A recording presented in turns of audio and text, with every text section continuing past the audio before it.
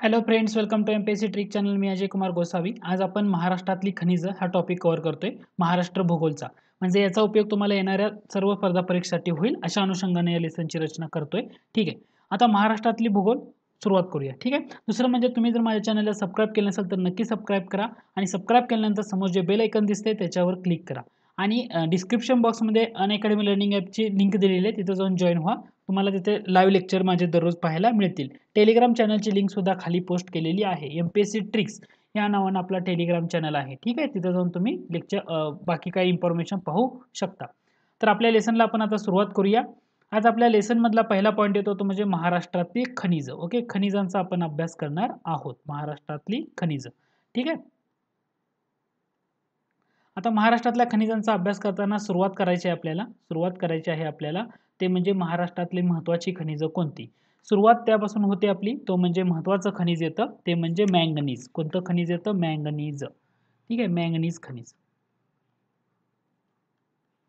जेव्हा मॅंगनीज खनिज विचारलं आणि तुम्हाला काय करायचं असतं? महाराष्ट्रातलं मॅंगनीज खनिज कोणत्या जिल्ह्यामध्ये सापडतं? ते ट्रिकनुसार तुम्ही कसं लक्षात ठेवणार? तर त्याची सिंपलशी ट्रिक आहे ओके सिंपलशी ट्रिक आहे. ते कसं लक्षात ठेवायचं? मानसीचं बंड. कसं लक्षात ठेवायचं? मानसीचं बंड ओके? मानसीचं बंड. अशा शब्दामध्ये तुम्ही महाराष्ट्रातली खनिजं जे मॅंगनीज खनिज आहे हे लक्षात ठेवू शकता. म्हणजे यामध्ये मा म्हणजे काय आहे? मॅंगनीज आहे. मा म्हणजे काय आहे? Manganese okay? आता याच्यामध्ये सी आणि ची आहे ओके? मा न झालं. सी म्हणजे काय येतं? सी म्हणजे येतं सिंधुदुर्ग. सी म्हणजे काय येतं? सिंधुदुर्ग. ठीक आहे? सिंधुदुर्ग जिल्हा. त्यानंतर च. च म्हणजे कोणता जिल्हा येतो? चंद्र मानसीचं बंड चंद्रपूर. त्यामध्ये न राहिला. न म्हणजे नागपूर पण येतो. ओके? ना म्हणजे नागपूर पण येतो. आणि बंड म्हणजे काय येतो? भंडारा. म्हणजे हे तीन तर कमीत कमी तुम्हाला जिल्हे लक्षात ठेवू शकताय. कमीत कमी. ओके? मानसीचं बंड या शब्दामधून तुम्ही हे लक्षात ठेवू शकता. सिंधुदुर्ग नागपूर आणि भंडारा. हे तीन जिल्हे तुम्हाला अगोदर फोकस करावे लागतील. कशासाठी? मॅंगनीजला हां? मानसीचं बंड. ओके? मानसीचं बंड. ठीक आहे? सिंधुदुर्ग नागपूर आणि भंडारा. हां? एवढं लक्षात ठेवा. आता दुसरा पॉईंट येतो म्हणजे मॅंगनीज या खनिजाबाबतीत तुम्ही जर बघितलं साठे कुठे आढळतात? साठे साठ्यांचं प्रमाण कुठे जास्त आहे? तर साठे म्हटलं मॅंगनीजच्या खनिजाच्या बाबतीत महाराष्ट्राचा क्रमांक कितवा येतो? चौथा येतो ओके साठ्यांच्या बाबतीमध्ये महाराष्ट्राचा क्रमांक किती येतो मॅंगनीजमध्ये तर चौथा येतो. आणि उत्पादनाचा जर विचार केला तुम्ही उत्पादनाच्या बाबतीत तर महाराष्ट्राचा क्रमांक कितवा आहे? दुसरा आहे. उत्पादनाच्या बाबतीत कितवा आहे? दुसरा आहे. म्हणजे तुम्हाला एक लक्षात घ्या महाराष्ट्रासाठी मग साठे कोण कुठल्या राज्यामध्ये जास्त आहेत? कोणतं असं राज्य आहे की ज्या राज्यामध्ये साठ्यांचं प्रमाण मॅंगनीच्या साठ्यांचं प्रमाण जास्त आहे तर तो राज्य येतं मध्य प्रदेश आहे. ठीक आहे? मध्य प्रदेशमध्ये पण साठे तुम्हाला पाहायला मिळतील. उत्पादनामध्ये मध्य प्रदेश येतं. ठीक आहे? उत्पादनामध्ये मध्य प्रदेश येतं. साठ्यांच्या बाबतीत बघितलं तर ओडिसा. ओके? ओडिशा साठ्यांच्या बाबतीमध्ये येतं. उत्पादनामध्ये म्हटलं तर एम पी येतं. उत्पादनामध्ये म्हटलं की एम पी येतं. हे लक्षात ठेवा. म्हणजे मॅंगनीचा उपयोग कशासाठी होतो? तर मॅंगनीचा उपयोग जे उच्च दर्जाचं पोलाद तयार करायचं आहे ओके? उच्च दर्जाचं पोलाद तयार करण्यासाठी या मॅंगनीचा वापर केला जातो. ओके? आता आपण पाहिलं होतं मॅंगनीच्या साठेपैकी म्हटलं. मॅंगनीचे साठे जर म्हटलं सगळ्यात महत्त्वाचं पहिल्यापासून सुरुवात करूया. पहिला जिल्हा येतो ओके? पहिला जिल्हा येतो नागपूर. कोणता जिल्हा आहे? नागपूर. मानसीचं बंड म्हणलं होतं ना त्यातला न म्हणजे नागपूर जिल्हा.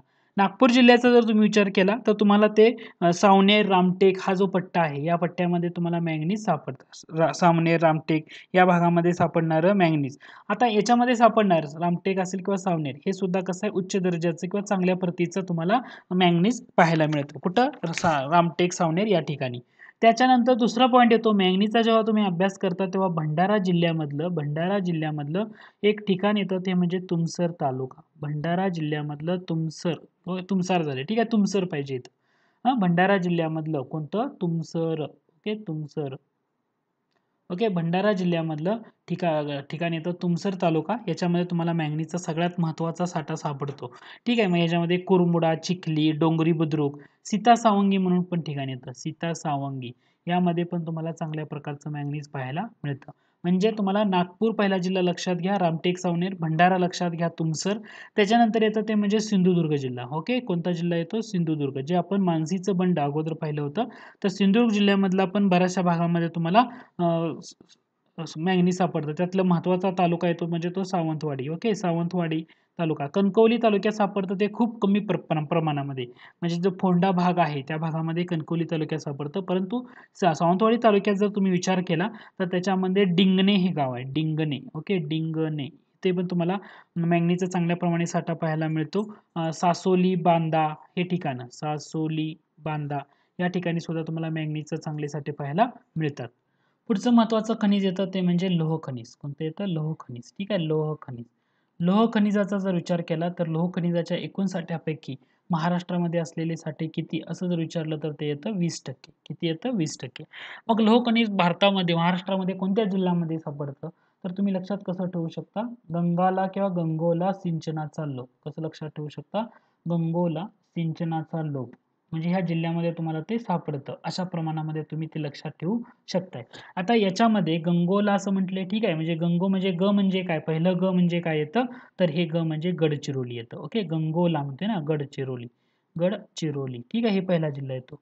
त्याच्यानंतर पुढचा गो म्हटले. गो म्हणजे तो पुढचा काय येणार आहे? गोंदिया जिल्हा. कोणता जिल्हा येणार आहे? गोंदिया. ओके? गण मग गडचिरोली गोंदिया. गंगोला ला सायलेंट आहे. सिंचनाचा. सी म्हणजे काय येणार? मग सिंधुदुर्ग येणार. बरोबर? सी म्हणजे काय येणार? सिंधुदुर्ग येणार. ओके सिंच च. म्हणजे काय येणार? चंद्रपूर येणार. च म्हणजे काय येणार? चंद्रपूर. ओके सिंच. परत नाचा सिंचनाचा लोभ. ना म्हणजे आपलं नागपूर. ना म्हणजे कुठलं आपलं? नागपूर ठीक आहे नागपूर. हा लोभ. सिंचनाचा लोभ किंवा लाभ असं काही म्हणू शकता तुम्ही. ते भ म्हणजे काय येणार आहे? तुमचा भंडारा येणार आहे. भ म्हणजे काय येणार आहे? भंडारा. ठीक आहे? म्हणजे याच्यामधून एकूण सहा जिल्हे तुम्हाला कन्सिडर करावे लागतात. म्हणजे लोह खनिजाच्या बाबतीत जर तुम्हाला विचारलं प्रश्न असाही विचारला जाऊ शकतो. महाराष्ट्रामध्ये लो किती टक्के साठे आहेत? भारताच्या एकूण साठ्यापैकी तर वीस टक्के लोह खनिजाचे ट्रिकनुसार कसं लक्षात ठेवणार? तर गंगोला सिंचनाचा लोप गडचिरोली गोंदिया सिंधुदुर्ग चंद्रपूर नागपूर आणि भंडारा या पद्धतीनं तुम्ही ते लक्षात ठेवू शकताय. आता लोहखनिजाच्या बाबतीत जर तुम्ही थोडंसं पाहिलं लोहखनिजाच्या बाबतीमध्ये तुम्ही जर थोडंसं पाहिलं तर तुम्हाला कोणत्या प्रकारचं लोहखनिज चांगलं आहे सर्वोत्तम आहे? किंवा त्याच्या प्रमाणानुसार लोहाचं प्रमाण सर्वाधिक जास्त चांगलं कोणतं आहे? याच्यानुसार तुम्हाला त्याची ट्रिक येते माही. माही म्हणजे महेंद्रसिंग धोनीला माही म्हणतो आपण. आणि दुसरं लक्षात ठेवायचं माही लिसा. ओके? माही लिसा. ठीक आहे माही लिसा. यामध्ये मा म्हणजे काय येतं? मा म्हणजे काय येतं? मॅग्नेटाईट. ओके? मा म्हणजे काय येतं? मॅग्नेटाईट. ठीक आहे लोहाच्या प्रमाणानुसार असलेले त्याचे प्रकार. मॅग्नेटाईटचा जर विचार केला तर याच्यामध्ये असलेलं लोहाचं प्रमाण हे कसं असतं? सर्वाधिक जास्त असतं. जास्त म्हणजे किती टक्के असतं? तर बहात्तर टक्क्यापर्यंत मॅग्नेटाईटमध्ये लोहाचं प्रमाण असतं. ओके? हे मा म्हणजे मॅग्नेटाईट त्याच्यानंतर पुढचं येतं ते म्हणजे ही. ही आपण काय घेतले ही म्हणजे काय येतो? हेमेटाईट येतं. ही म्हणजे काय येतं? Haematite okay? ही म्हणजे काय येतं? हेमेटाईट आता या हेमेटाईटमध्ये असलेलं प्रमाण जर बघितलं तर तुम्हाला जवळजवळ सत्तर टक्के पाहायला मिळतं. हां? त्यानंतर ली घेतला माही लिसा. ली म्हणजे काय येतं? लिमोनाईट हां? Magnetite haematite limonite okay? Limonite आणि लिमोनाईटचा जर विचार केला तर तुम्हाला याच्यामध्ये असलेलं जे लोहाचं प्रमाण आहे तर ते किती टक्के पाहायला मिळतं? तर ते साठ टक्के तुम्हाला पाहायला मिळतं. आणि सी म्हणजे माही लिसा. सा म्हणजे काय येतं? एक minute. Siderite okay? Siderite siderite असं येतं. सिडेराईट म्हणजे याच्यामध्ये असलेलं लोहाचं प्रमाण किती असतं? तर ते असतं अठ्ठेचाळीस टक्के. किती असतं? अठ्ठेचाळीस ओके? म्हणजे तुम्हाला हे लक्षात आलं का? माही लिसा कशा पद्धतीनं मी ती केले? ओके? हे तुम्हाला आय होप तुम्हाला समजलं असेल. ठीक आहे? हे होप तुम्हाला समजलं असेल.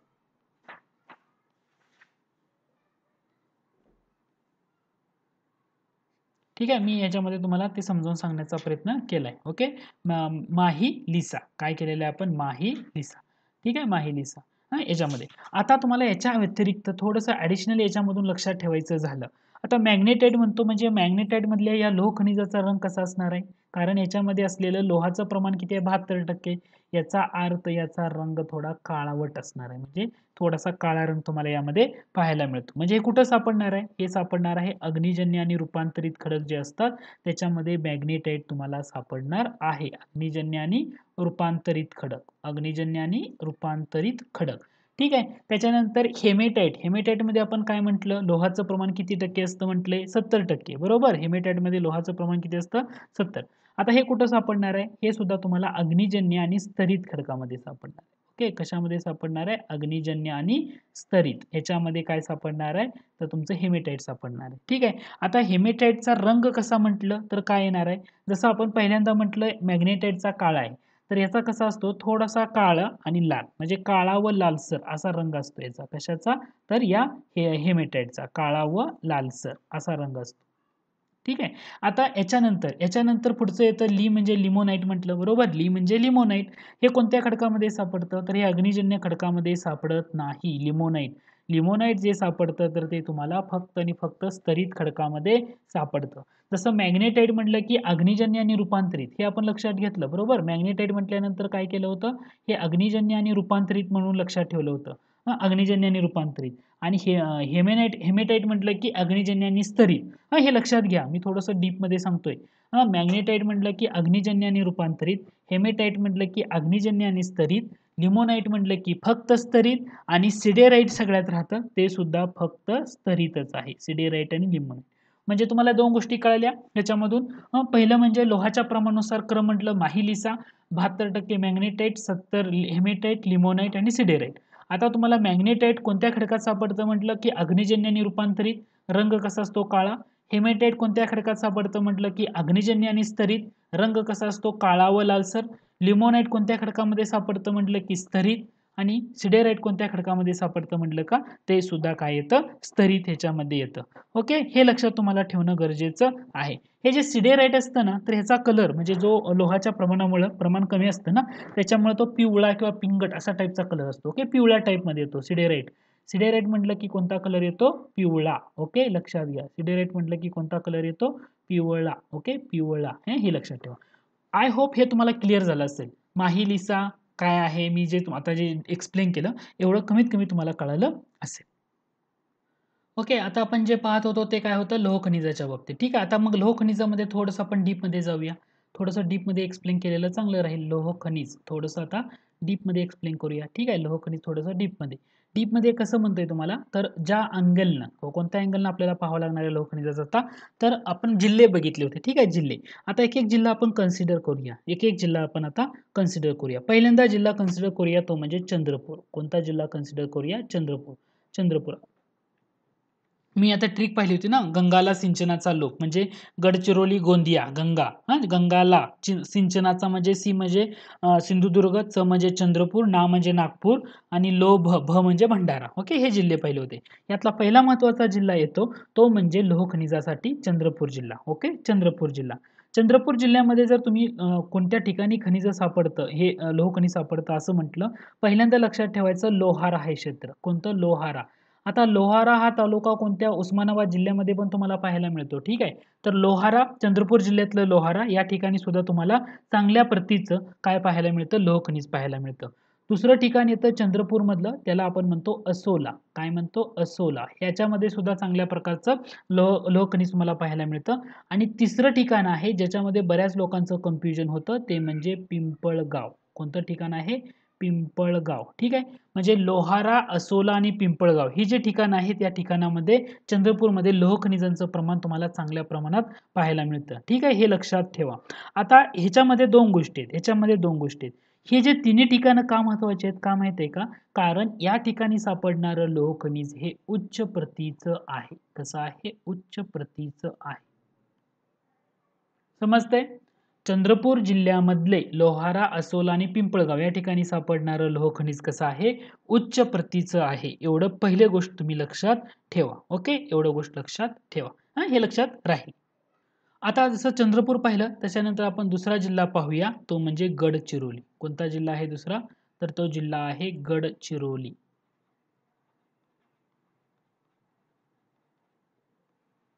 लोहखनिजाच्या साठ्यांच्या बाबतीत किंवा लोहखनिजांच्या बाबतीत दुसरा महत्त्वाचा जिल्हा येतो तो म्हणजे गडचिरोली.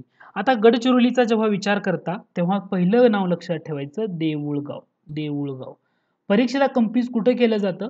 परीक्षेला कम्प्यूज कुठे केलं जातं? तर परीक्षेला या दोन पॉईंटमध्ये कन्फ्यूज केलं जातं. हे जे पिंपळगाव दिलेलं आहे आणि हे देऊळगाव दिलेलं आहे जोड्याला विचारून तुम्हाला कन्फ्यूज केलं जातं. देऊळगाव कुठे येतं? तर देऊळगाव येतं गडचिरोली जिल्ह्यामध्ये. पिंपळगाव लोहखनिजासाठी. आणि पिंपळगाव म्हटलं तर ते येतं चंद्रपूर जिल्ह्यामध्ये. मग आता या देऊळगाव एवढंच महत्त्वाचं आहे का? याच्या व्यतिरिक्त आणखी कोणती महत्त्वाची ठिकाणं आहेत गडचिरोली जिल्ह्यामध्ये की ज्या ठिकाणी लोहखनिजासाठी सापडलं जातं? तर त्याच्यामध्ये सुरजागड भामरागड हे तर तुम्हाला लक्षात ठेवायचं आहे बाय डिफॉल्ट सुरजागड. ओके त्यानंतर येतं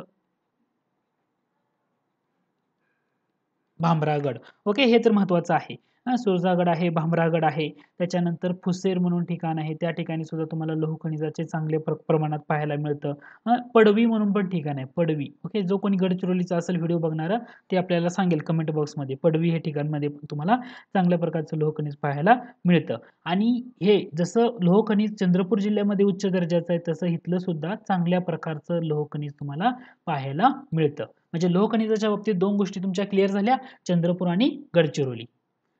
त्याच्यानंतर महत्त्वाचा जिल्हा येतो त्यानंतर महत्त्वाचा जिल्हा येतो त्या जिल्ह्याला आपण म्हणतो गोंदिया जिल्हा. ठीक आहे? गोंदिया जिल्हा.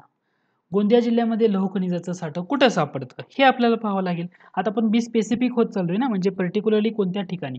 तर गोंदिया जिल्ह्यामध्ये आय थिंक गोरेगाव नावाचा एक तालुका आहे. या गोरेगाव तालुक्यामध्ये तुम्हाला काही महत्त्वाची ठिकाणं सापडतात. त्या ठिकाणी लोह खनिजाचे चांगले साठे आहेत. तर दोन नावं येतात. एक म्हणजे खुर्सीपार म्हणून आहे. खुर्सीपार आणि दुसरं ठिकाण आहे ते म्हणजे आंबे तलाव. ओके? आंबे तलाव. लोह खनिज चांगलं सापडतं. आंबे तलाव. या ठिकाणी काय सापडते आपण पाहतोय सध्या? लोह खनिजांच्या बाबतीमध्ये पाहतोय. ठीक आहे? लोह खनिजाच्या बाबतीमध्ये पाहतोय. गोंदिया जिल्ह्यामध्ये गोरेगाव तालुका येतो. याच्यामध्ये खुर्सीपार आणि आंबे तलाव या ठिकाणी लोहखनिज सापडतं चांगल्या प्रकारचं. ओके इथं पण बऱ्या प्रकारचं आहे. म्हणजे गोंदिया सुद्धा लोहखनिजाच्या दृष्टीनं दृष्टीने चांगला जिल्हा असं म्हटलं जातं. गोंदिया जिल्ह्यानंतर आता पुढचा जिल्हा महत्त्वाचा येतो तो म्हणजे नागपूर. नागपूरचा जर तुम्ही विचार केला तर नागपूरमध्ये इथं लक्षात ठेवायचं. आतापर्यंत आपण कसं पाहत होतो की लोहखनिज सापडलं हे चांगल्या दर्जाचं चांगल्या दर्जाचं. इथं जे लोहखनिज सापडतं तर ते साधारण प्रतीचं असतं. ओके? एवढं पण चांगलं नाही आहे नागपूरमध्ये जे लोहखनिज सापडतं तर ते साधारण प्रतीचं आहे. हे लक्षात घ्या. नागपूरमध्ये सापडणारं साधारण प्रतीचं आहे. नागपूरमध्ये म्हटलं तर प्रमाण कमी आहे. ओके? रेअर कमी प्रमाण आहे. कमी प्रमाण आहे. ठीक आहे? कमी प्रमाण आहे. दुसरी महत्वाची गोष्ट म्हणजे ना याच्यामध्ये भिवापूर तालुक्यामध्ये सापडतं ते पण भिवापूर तालुक्यामध्ये ओके? नागपूरमध्ये एवढ्या प्रमाणामध्ये तुम्हाला पाहायला मिळतं. दुसरं महत्त्वाची गोष्ट दुसरी महत्त्वाची गोष्ट याच्यामध्ये येतं. दुसरी महत्वाची गोष्ट येते ते म्हणजे कोणता जिल्हा? सिंधुदुर्ग जिल्हा ओके? जसं चंद्रपूर गडचिरोली हे आपण सुरुवातीला इम्पॉर्टंट म्हणलं. तर लोहखनिजाच्या दृष्टीनं सिंधुदुर्ग जिल्हा का महत्त्वाचा आहे?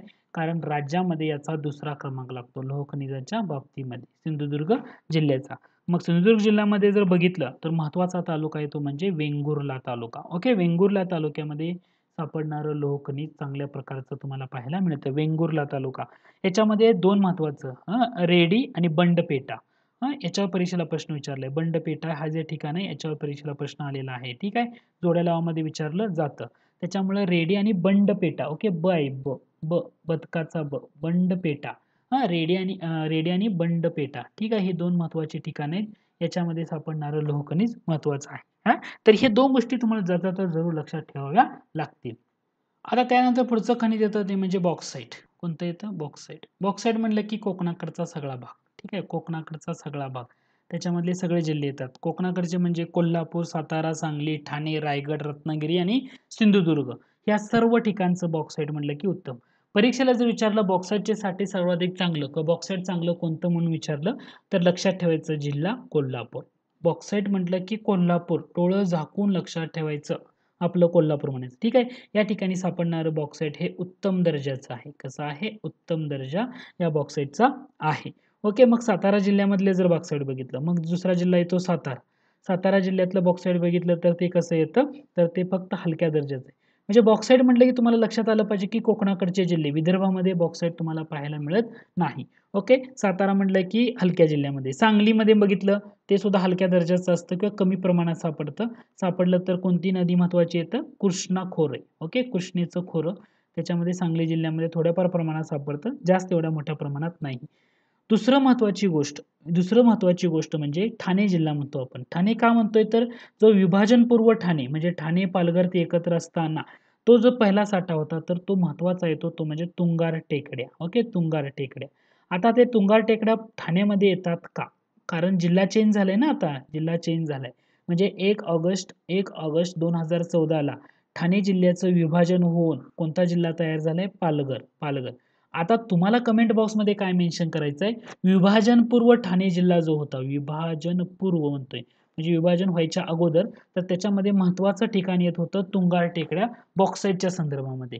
मग आता तुम्हाला कमेंट बॉक्समध्ये मेन्शन करायचं आहे की हे ज्या तुंगार टेकड्या आहेत ह्या ज्या तुंगार टेकड्या आहेत कोणत्या जिल्ह्यामध्ये सापडतात? कोणत्या जिल्ह्यामध्ये येतात? ठाण्यामध्ये येतात की पालघरमध्ये येतात? कमेंट बॉक्समध्ये मेन्शन करा. तुंगार टेकड्या ठाणे जिल्ह्यामध्ये येतात की पालघर जिल्ह्यामध्ये येतात ते पहा. आणि दुसरं म्हणजे इथं सहज सापडणारं लोह खनिज हे कसं आहे? सॉरी बॉक्साईट कसं आहे? साधारणच आहे. ओके ठाणे जिल्ह्यातलं. ओके माझा प्रश्न आहे तुंगार टेकड्या कोणत्या जिल्ह्यामध्ये येतात? कमेंट बॉक्समध्ये नक्की मेन्शन करा. आता बॉक्साईटच्या बाबतीमध्ये आणखी एक राहिलं. बॉक्साईटच्या बाबतीमध्ये आणखी एक राहिलं. तो म्हणजे जिल्हा सिंधुदुर्ग. सिंधुदुर्ग म्हटलं बॉक्साईटच्या बाबतीमध्ये म्हटलं सिंधुदुर्ग. तर सिंधुदुर्ग म्हटलं की एकच गोष्ट तुम्ही लक्षात ठेवू शकता ती म्हणजे आंबोली भाग. या भागामध्ये बॉक्साईट तुम्हाला पाहायला मिळतं ओके? थोड्या प्रमाणामध्ये आंबोली भाग ओके? मग तुम्हाला जेव्हा बॉक्साईडबद्दल विचारलं जातं तेव्हा कोकणाकडचे सर्वच्या सर्व जिल्हे याच्यावर तुम्ही फोकस केलं पाहिजे. दुसरं म्हणजे बॉक्साईड म्हटलं की पहिला जिल्हा लक्षात ठेवला पाहिजे कोल्हापूर. कोणता जिल्हा लक्षात ठेवला पाहिजे? कोल्हापूर. आता खनिजांच्या बाबतीमध्ये पाहिलं आता आपण मेन तीन तर पाहिली मॅंगनेज लोह खनिज बॉक्साईट आयोगाचा कल हा इतर जी खनिज आहेत त्याच्यावर विचारण्याचा असतो. म्हणजे कोणतं? तर आता येणारं महत्त्वाचं पुढचं खनिज आहे ते म्हणजे क्रोमाइट कोणतं खनिज आहे? क्रोमाइट ओके क्रोमाइट खनिजा कोणत्या जिल्ह्यामध्ये सापडतात? कसं लक्षात ठेवणार? सिंपल आहे. क्रूर सिंधू आली भागो. कसं लक्षात ठेवणार? क्रूर सिंधू आली भागो ओके? सिंधू क्रूर आले भागो. क्रूर म्हणजे काय? Chromite okay? सिंधू म्हणजे काय? सिंधुदुर्ग सिंधू म्हणजे काय येतं? सिंधुदुर्ग येतं. ठीक आहे? सिंधुदुर्ग येतं. क्रूर सिंधू आली भागो ओके? क्रूर सिंधू आली. क्रूर क्रू म्हणजे क्रोमाइट र राहिलंय ना याच्यामध्ये. याच्यामध्ये र राहिलं. र म्हणजे आपला रत्नागिरी राहिला इथं. ठीक आहे? र म्हणजे काय राहिला? रत्नागिरी राहिला. ओके? र म्हणजे रत्नागिरी सिंधू म्हणजे सिंधुदुर्ग आली आणि भागो. भा म्हणजे काय? भंडारा. भा म्हणजे काय भंडारा आणि गो म्हणजे काय गोंदिया? गो म्हणजे काय गोंदिया? म्हणजे तुम्हाला विचारलं क्रोमाईट खनिजं महाराष्ट्रातील कोणत्या जिल्ह्यामध्ये सापडतात? कसं लक्षात ठेवणार तुम्ही? क्रूर सिंधू आली भागो. सिंधू कशी आहे? क्रूर आहे. आली आहे. आता पळा भागो. रत्नागिरी सिंधुदुर्ग भंडारा आणि गोंदिया ही जिल्हे तुम्हाला लक्षात ठेवावे लागतील.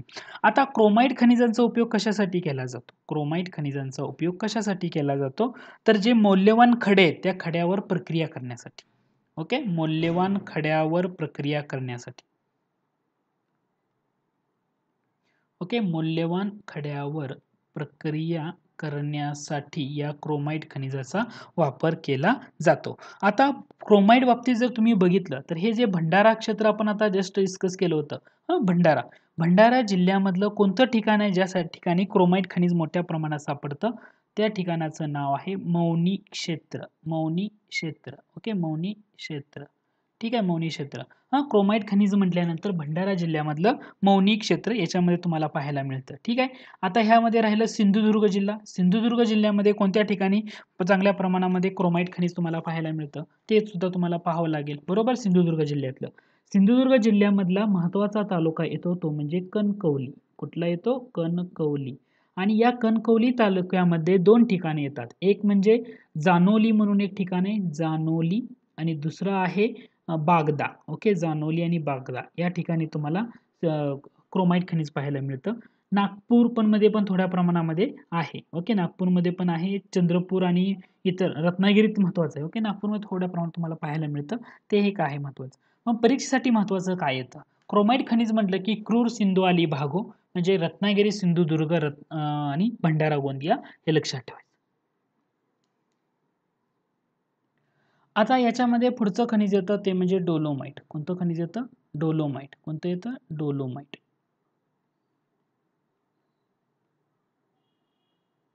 डोलोमाइट खनिजांचा तुम्ही तुम्ही अभ्यास करत असाल तर कसं लक्षात ठेवणार? ओके? जिल्हे कसे लक्षात ठेवणार? डोलोमाइट म्हटलं की लक्षात ठेवायचं गणा चंदाचा यार. गणा कोणाचा यार आहे? चंदाचा यार आहे. गणा चंदाचा यार. ठीक आहे डोलोमाइट म्हणले की गणा चंदाचा यार. यामध्ये ग म्हणजे काय येतं? गडचिरोली. ग म्हणजे काय येतं? गडचिरोली. ठीक आहे ग म्हणजे काय येतं? गडचिरोली. पुढचं ना आहे. ना म्हणजे काय येतं? ना म्हणजे ग ना. असं म्हणतो ना. म्हणजे ना म्हणजे काय? नागपूर. ना म्हणजे काय? नागपूर.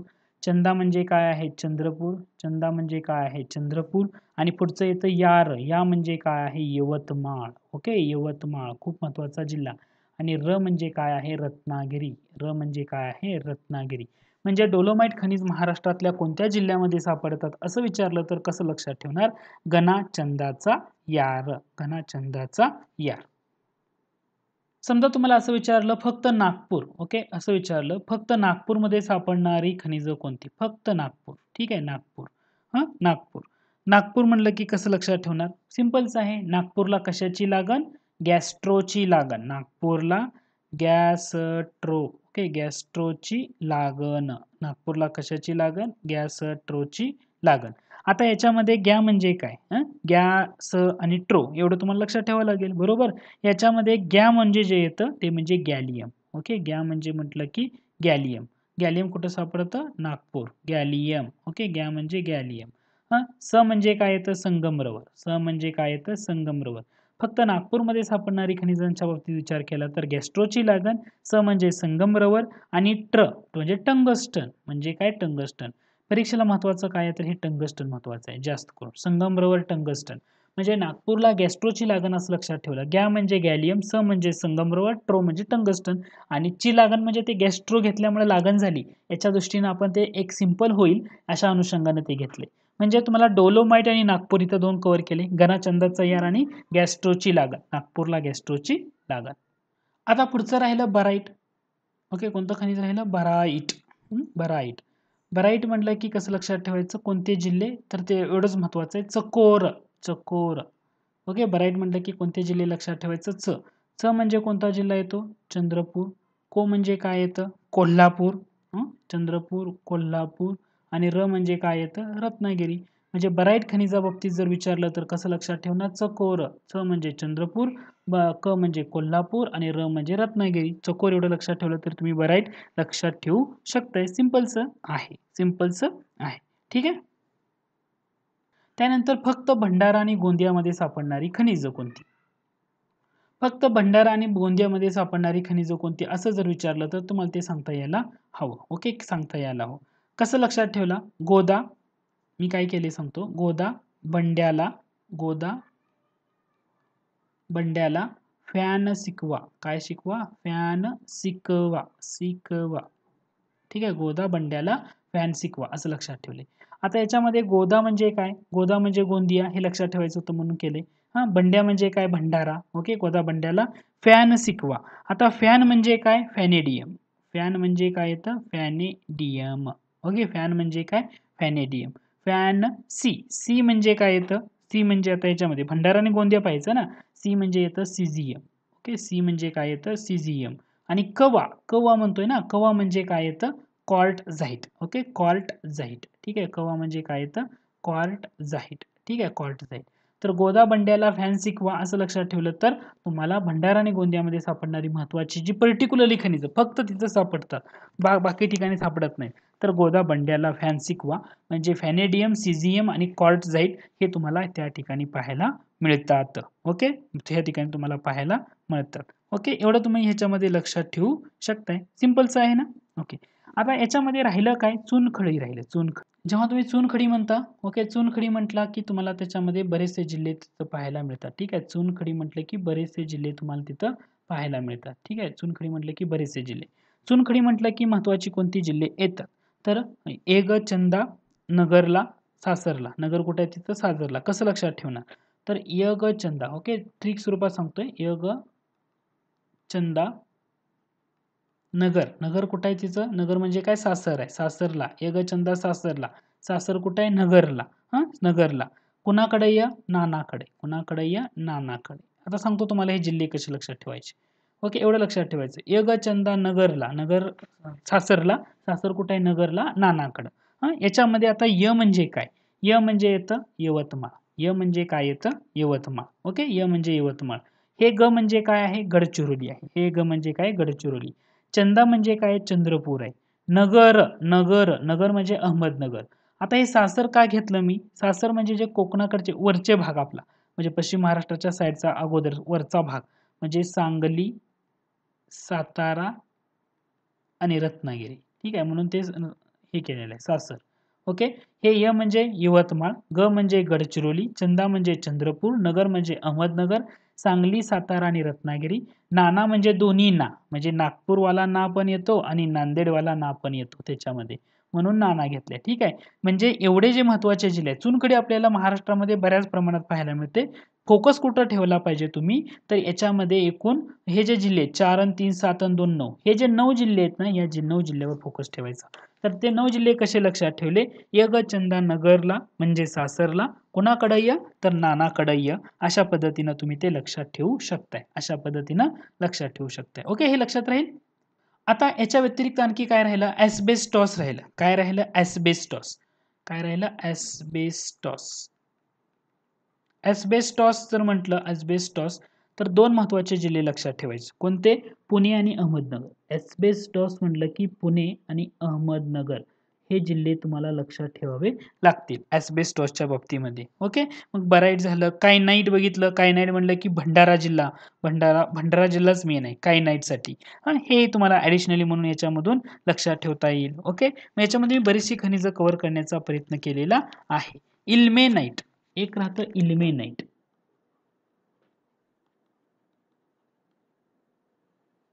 इल्मिनेट म्हटलं की कोणता जिल्हा? रत्नागिरी. इल्मिनेट म्हटलं की रत्नागिरी.